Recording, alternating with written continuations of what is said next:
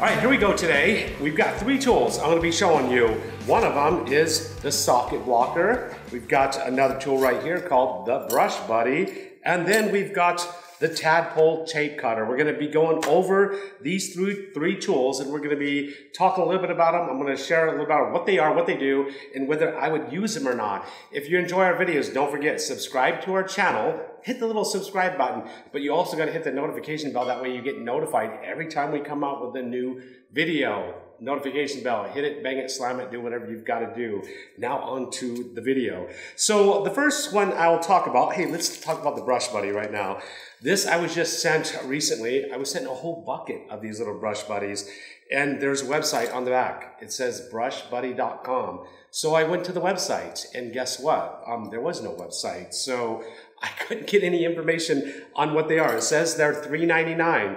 Um, I opened them up, and I actually really, really liked the product. I'm going to show you what it looks like. And this is a little copper brush holder that goes on your brush. I've been sent, you know, quite a few brush holders over the years and I've never really liked any of them. A lot of like the magnetized ones that go in your buckets, they just get lost.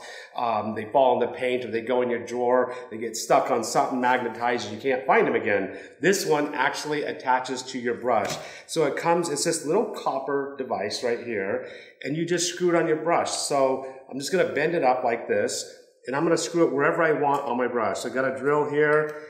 Let's just screw this thing on. See if I can screw it on easy. Um, I don't have a magnetized bit, but um, let's get busy here. And wow, that's a little tiny screw, so I don't think my bit is might be too big for that screw. Um, it is too big for the screw. Make sure your drill bit's going the right direction. All right, there's one screw, second screw, get that second screw on here. We'll show you what it looks like. So the brush buddy right here. So now it just bends right back. So this is a device I actually really like. Of all the brush holders I've ever seen, this is one I'd actually use. And I've actually made a video quite a while ago using um, cup hooks, one inch cup hooks. Drill a hole, just screw a cup hook in there, but the cup hook kind of sticks out and gets in the way a little bit. I thought that's a pretty cool way, you know, to hang your brushes. But that is a really cool way to hold your brush. It doesn't stick out as much. So people that like brush holders, I think this device is actually really cool.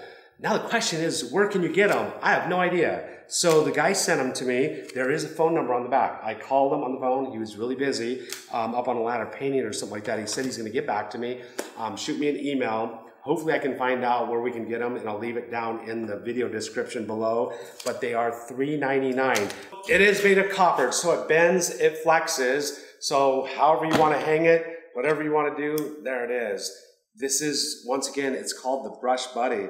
And once again, I think this is one of the coolest ways to hang a brush. If you're one of those guys that likes to hang your brush inside your bucket so it's not down inside the gallon of paint.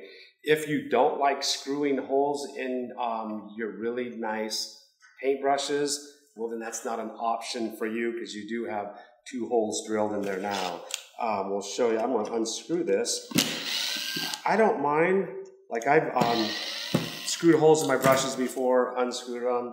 and It's just a tiny little hole. It's not going to have a whole lot of effect. But I'm going to put this back on there one more time. You can see that it can be moved and removed. Um, made out of copper, so uh, high quality metal right there.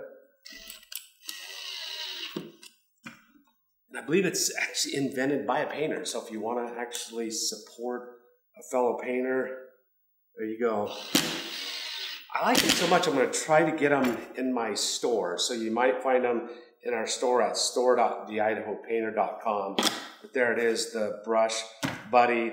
So let's talk about the tadpole, something that we don't have to have a drill to like attach. So the tadpole, this little device, it attaches to a roll of tape. And what I really found useful with this product, this is one product I would recommend that you get. First when I got it, oh my gosh, it was just this little thing that tears tape, um, no big deal. But then I had some French doors to do, a bunch of windows, and what I realized is I'm sitting there cutting, trying to cut with a knife and trim my tape, and cut up and put all these little bits and pieces on my French doors. Well, this thing actually tears the tape at a perfect 90 degree angle every single time. So now with your French doors, if you're doing some French doors, you can sit there and get perfect 90 degree tears of tape each and every time. So now I can just take, go to all my corners on my French door, bam, bam, just hit my corners with this tape right here, like that, and then I've got perfect corners, then I'll just take my paper and fill it in. So it just attaches right here with this little simple little elastic band right here, stays on the tape. They make different sizes, so we actually use them in our store right here for packaging tape. And that was what you would think would be the most common use. They work really, really well. Packaging tape. Here's some frog tape right here. And kind of interesting, you got frog tape and tadpole. A tadpole turns into a frog. What a coincidence. They're not owned by the same company though. So it just attaches simply and easily. You just sent a box of them and I thought, hey, that's pretty interesting. And it holds that holds your tape off the end of the roll of tape so you're not sitting there and scratching, searching to find your tape.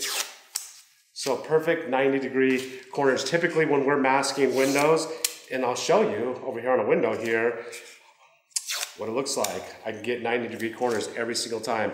Once again, that is the Tadpole tape cutter. They do come in. This is two sizes right here. This is an inch and a half, and this is a one inch, and then I believe they have like a two inch one. That's what our packaging tape is. Three different sizes. All right, now we talked about the tadpole, talked about frogs a little bit. Let's talk about a socket, a blocker.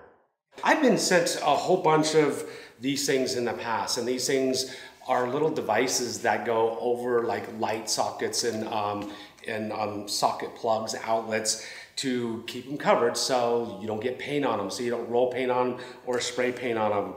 I've never really um, been impressed with a lot of them. I got these sent to me and one of the things I really liked about these is they've got um, double-sided tape on them, so they just stick on really quick and really easy. Now I'm gonna tell you, I haven't tried them yet. So I have a whole bunch of them. We're gonna cut pair over. I'm gonna show you these right here, what they look like.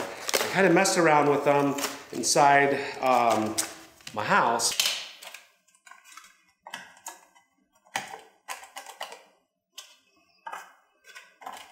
This one's been reused a handful of times and it's still sticking pretty good. It's one of the, one of the only things I've really found it's just kind of a little bit of annoying just peeling this off and I'm getting better and better at peeling, just grabbing a corner, getting the corner off and sticking these things on. But they're definitely, things are staying on there pretty good and that is definitely going to protect your sockets.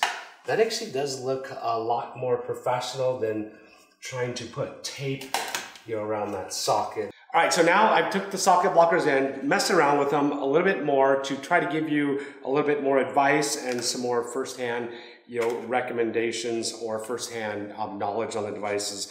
So I got four stacked together here. I've used it in different scenarios, multiple switches together. They cover the switches 100%. They stick on amazing. They don't come off. So they got multiple points that actually stick on the socket. I thought maybe these things, you'd um, hit them a little bit and they would fall off. Once you put them on, they are on. Once you pull them off, you can stack them.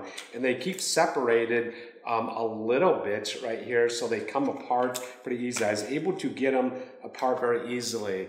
So I do like how they cover the outlets, the switches. We use them on round switches, square switches, and they cover them all 100%.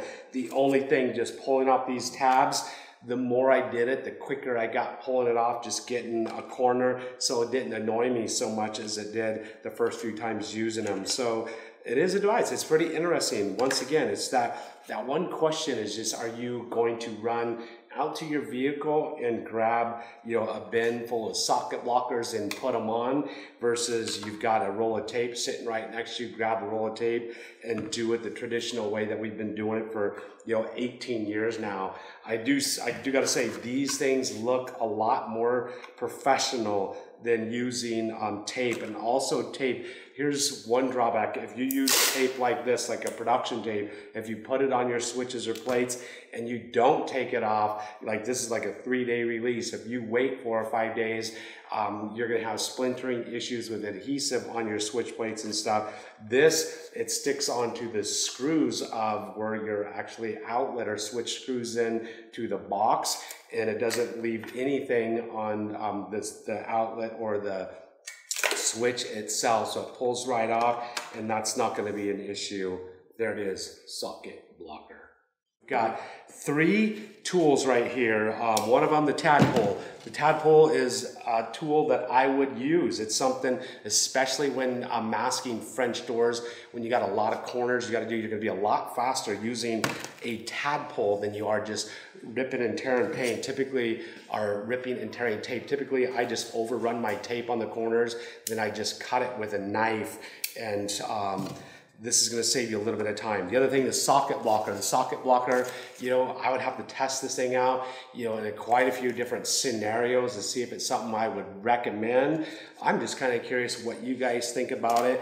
Uh, they're inexpensive to buy, to test out, so you might want to give them a try. Let us know. But once again, down in the comments section below, let me know whether you would buy them, whether you use them or not. Then the next tool is the Brush Buddy. It's something out there. I don't even know if it's sold anywhere right now, but I'm going to get that information. I'll leave it down in the video description below. Three tools Tool Talk Tuesday. Hope you guys enjoyed this video. If you have, hit the subscribe button, hit the notification bell. That way you get notified next time we come out with another tool for you on Tool Talk Tuesday. Out.